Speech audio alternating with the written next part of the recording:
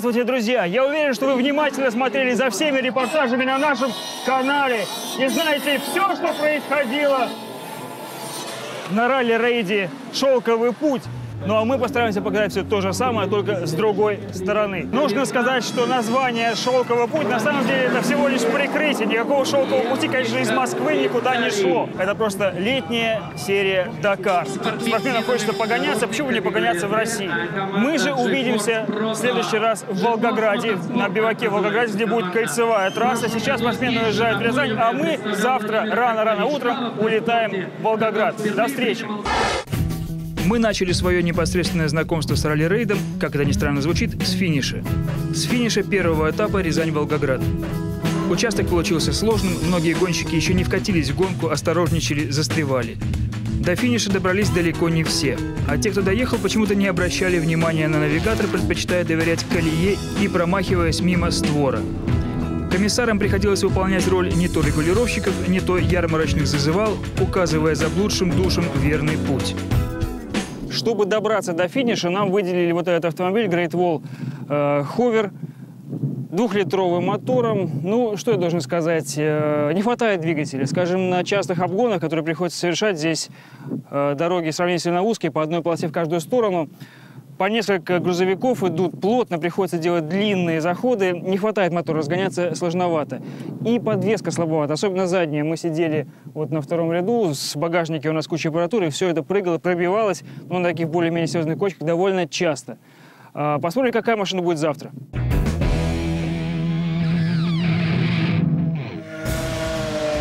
Вот этот участок фактически пустыня один из самых характерных для Волгоградского кольца и, пожалуй, один из самых непростых. Вот там, чуть дальше, где стоят люди, был в прошлом году крутой подъем, который далеко не каждый мог преодолеть. Э, сложно он не только для спортсменов, но и для зрителей, и для журналистов. Защититься от палящего солнца приходится э, вот только головными уборами одежды, поскольку э, с тенью здесь плоховато. Для участников э, сложность в другом. Вот если тут песок плотный на целине, то стоит хоть одному экипажу проехать, и он превращается в манную крупу. Кроме того, колея. Понятно, что все пилоты – это опытнейшие спортсмены, они отлично ориентируются на любых ландшафтах. Но и на старуху бывает проруха, никто не застрахован от ошибок, а ошибка на песке грозит застреванием. Кроме того, здесь хорошо проявляется именно степень подготовки машин и внимание к деталям. Правильно подобранные шины, незабытое давление, сниженное в шинах, чтобы можно было спокойнее ехать по песку. И компоновка машины очень многое значит. Задние приводные легкие баги иногда легче едут по песку, хотя, скажем, с подъемами туговато у них и с рельефом. Тяжелые полноприводные машины, дизельные, иногда как раз на прямиках, на сырхом, на вот таком сыпучем песке испытывают затруднения. Но пока вроде все идет неплохо, по крайней мере, я не слышал о застрявших, хотя, ну, дождемся финиша.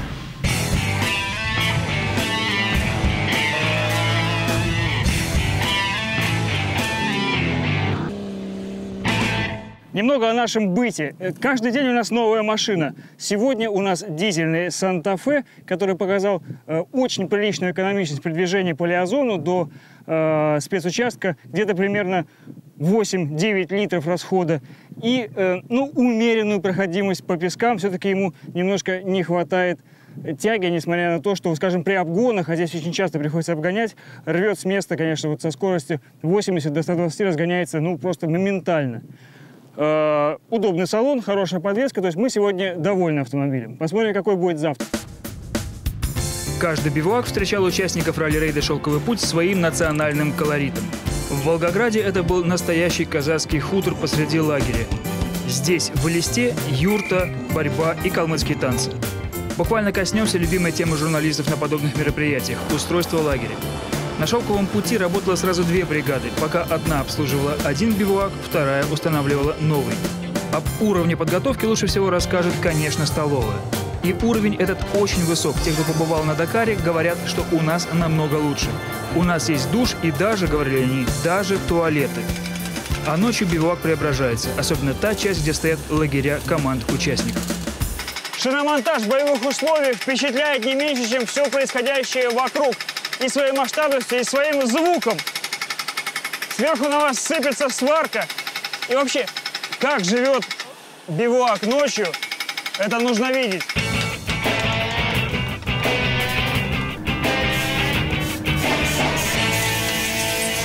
Вот, к примеру, список работ э, конкретного автомобиля. Осмотр автомобиля, понятно, осмотр колес, замена колес, что мы видели, протяжка колес динамометрическим ключом, прошприцевать автомобиль. Представляем себе прошприцевать такой автомобиль. Проверить уровни масла, двигателя, тосол, тормозной жидкости, протяжка стремянок, передних, задних. Проверить световые приборы, проверить запасные колеса, подкачать, подтянуть ремни. Осмотр рамы в заваленных местах. Долить воду в задний бак умывателя, долить воду в термоса, положить лед, продуть кабину протереть приборы пилота, механика, штурмана, помыть стекла. И здесь еще дополнительно э, замечание пилота или механика из самой машины. Не работает переговорка пилота, грустно было пилота, если его никто не слышал, и поменять зеркало правое. Э, похоже, что уже поменяли. Та часть бивуака, где стоят боевые машины и где работают с ними механики, мне больше напоминает некую компьютерную стратегию, знаете, где нужно сначала поставить какую-то штаб-квартиру, потом построить еще завод, потом построить еще какую-то казарму, потом завоевать пространство. Единственное, чего здесь не хватает, это неких краулеров, которые добывают ресурсы. А так очень похоже. Везде шум, гам, стук, рев моторов. Не знаю, какие-то инструменты гудят, трещат, свирестят. Такой огромный-огромный муравейник, э, где муравей — это вот, вот эти монстры, а, с одной стороны, монстры, их называют слонами, это большие технички, с другой стороны, монстры — это боевые машины. И как в компьютерной стратегии, одни монстры противостоят другим.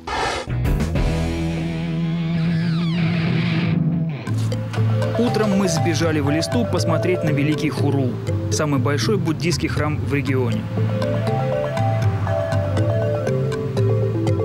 Быть в Калмыкии, в Элисте и не посетить золотой храм Будды Шакьямуни просто непростительно. Не забывайте только снимать головной убор. Все-таки это храм, независимо от того, какого вы вероисповедания. К сожалению, в храме снимать запрещено. Тем не менее, даже не входя в храм, можно сослужить добрую службу Вселенной. Вокруг здания расположены, ну, то, что называется молельные барабаны. Очень простое устройство, придумано для того, чтобы люди, даже совершенно неграмотные, не знающие ни одной э, молитвы, ни одной сутры, могли бы все-таки принести эту самую пользу Вселенной. Нужно просто пройти мимо них, вращая каждый барабан по часовой стрелке. Чем, собственно, я сейчас и займусь. Буду приносить пользу Вселенной. Поскольку барабаны придуманы для тех, кто вообще не знает ничего, можно это делать молча. Вообще, все это действие символически как-то э, напоминает мне зажжение свечей в христианских храмах. А здесь она еще сопровождается некой симпатичкой такой э, магией. Э, люди кладут денежку рядом с барабаном. Очень милый жест. В принципе, на этом наша миссия духовно можно было бы считать законченной, но очень хочется зайти внутрь, посмотреть убранство этого обители, золотой обители Будды Шакьямуни.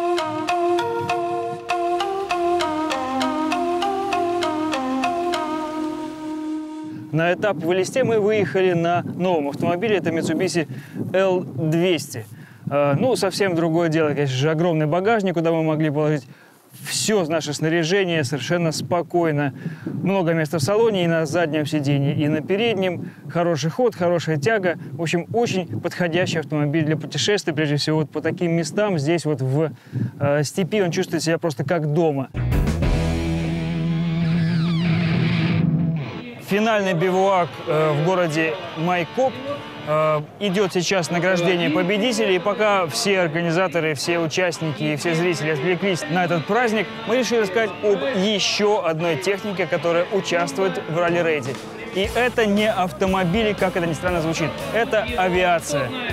Более 12 единиц техники участвуют в обеспечении работы ралли-рейда. Это и самолеты, и вертолеты. Прежде всего, трудяги Ан-72, вот один из них прямо за моей спиной. А, здесь есть Ан-72 полевой госпиталь. Вот там есть специальный Ан-74-100, а, который а, принадлежит как бы медицинской службе э, ралли-рейда. Здесь пять вертолетов. Один из вертолетов э, снимает что э, видео, те репортажи, которые вы смотрели на нашем канале о прохождении ралли-рейда. Еще один вертолет обеспечивает э, безопасность ралли, то есть медицинскую, прежде всего, контроль. Еще чуть дальше виден вертолет директора ралли. Понятное дело, что это человек, который должен успевать везде, и кроме как на вертолете с такими расстояниями, а э, спецучастки, как вы знаете, могут быть и 300, и 500 километров, кроме как на вертолете никуда не успеть. Под крылом воздушного госпиталя спрятались машины Федерального медико-биологического агентства, которые обеспечивают, что называется, безопасность здоровья участников ралли-рейда. В основном это унимоги, как видите, их здесь раз, два, три, четыре, пять машин. Есть э, Defender, Land Rover Defender, то есть все машины полноприводные, все способны добраться до самых отдаленных точек трассы и в случае необходимости оказать очень квалифицированную помощь. Иногда, оглядываясь вокруг на бивуаке, обращаешь внимание на то, что обслуживающих ралли-рейд машин, самолетов и людей едва ли не больше, чем самих участников рейда. И, наверное, это правильно, потому что обеспечить слаженную работу такого масштабного, такого огромного организма, как ралли-рейд, совсем непросто. И э, что приятно, что им это удается.